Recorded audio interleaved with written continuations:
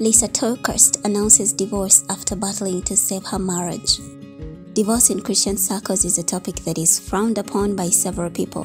While most individuals believe that it is okay to break a marriage union, others disagree and maintain that Christians should remain married till death do them part.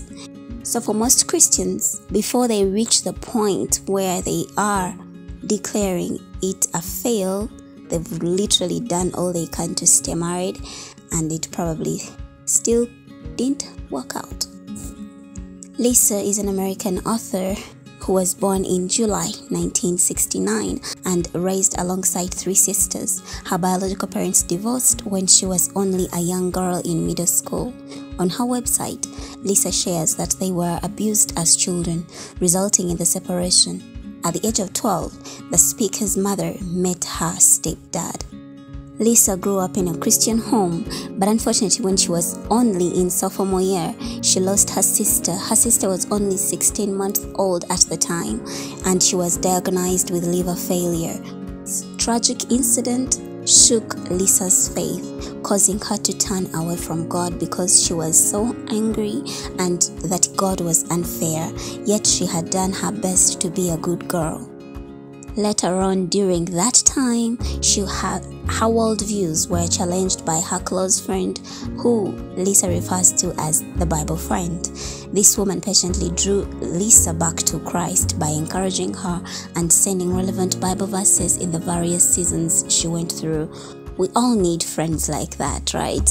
Who won't judge you, but they'll stick with you as you go through the different changes instead of judging you. Lysa attended a local high school before proceeding to join Furman University. In college, she joined a popular sorority and started dating a famous football player. Today, Lysa is a prolific author with over 10 books to her name. She's also the president of Proverbs 31 Ministries. Lysa met her husband Art at a Bible study and they started dating shortly afterwards. The lovers tied the knot in 1993. Now, their family comprises of three biological daughters, Hope, Ashley, Brooke, and two adoptive sons, Mark and Jackson. They have three grandchildren. However, the union of Lysa and her husband has not been smooth sailing. In 2008, Lysa disclosed that she had undergone an abortion after getting pregnant out of wedlock, a decision she made out of fear that society would judge her. But nevertheless, the two lovebirds tied the knot after a few years. But there was trouble in paradise. In 2018, Lysa announced their divorce, citing Art's infidelity and substance abuse.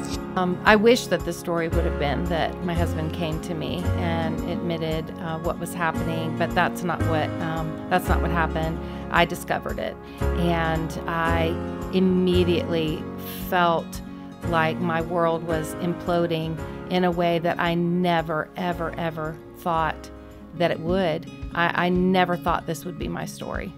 And um, so basically, I found out that. Um, that he'd been having some struggles with some addictions. I found out that first, and um, and then felt like maybe that explained away some of the behavior that um, that I was discerning wasn't right. I have a very discerning spirit. The problem is that just because you have discernment, discernment doesn't give you details. Right. And so that's where a lot of people live if they're in close community with someone and they're feeling like something isn't right. Um, they're discerning something is right, but they can't figure out the details. And that is a really difficult place to live. So that's where I lived for a long time. The unresolved abortion issue was also a recurrent issue in their marriage. According to Lysa, the couple had tried to save their marriage through counseling, but Art refused to repent and call off his affair. Unfortunately, shortly after making this decision, Lysa was diagnosed with breast cancer and had to undergo surgery. And during that time, the decision to separate was quickly turned around. Lysa and Art got back together.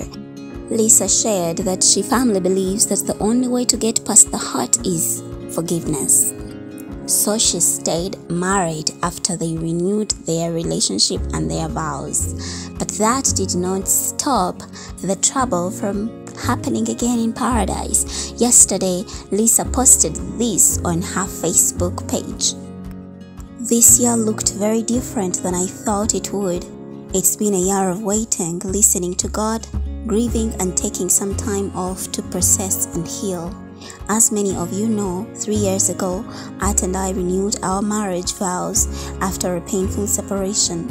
It has crushed my heart to know he has broken those vows. Over the past several years, I have fought really hard to not just save my marriage, but to survive the devastation of what consistent deception of one spouse does to the other.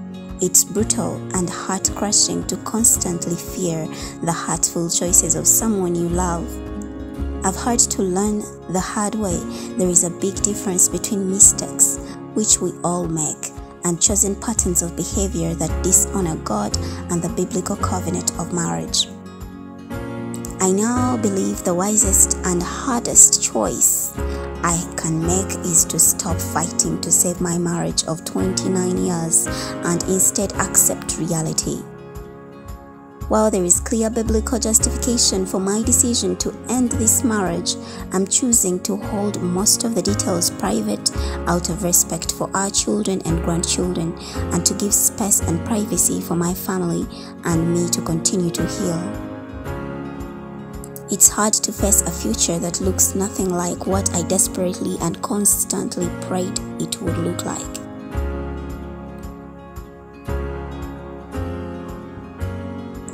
I don't like this reality, but the truth is, relationship restoration doesn't always work. I've cried and grieved over this and waited years, hoping this wouldn't be our story. But even when restoration doesn't work, forgiveness always does. I've never been more grateful for the healing, redemption God has done in my heart through the power of forgiveness. Bitterness and resentment could be eating me alive, but miraculously, that's not what I'm at. With time, prayer, and lots of counseling, my heart is healing. Sometimes the culmination of all our efforts and the answers to our prayers is that God restores us in relationships, and sometimes He rescues us out of relationships. I don't understand why circumstances sometimes go the way my story is now going, but I'm standing firm in my faith and trusting God with every step. My family and I treasure your prayers and your compassion this year has been really hard for me and my family. And honestly, I've had many moments recently where I just needed some solid truth to stand on. I just needed to know that God was near me. I needed to feel his embrace.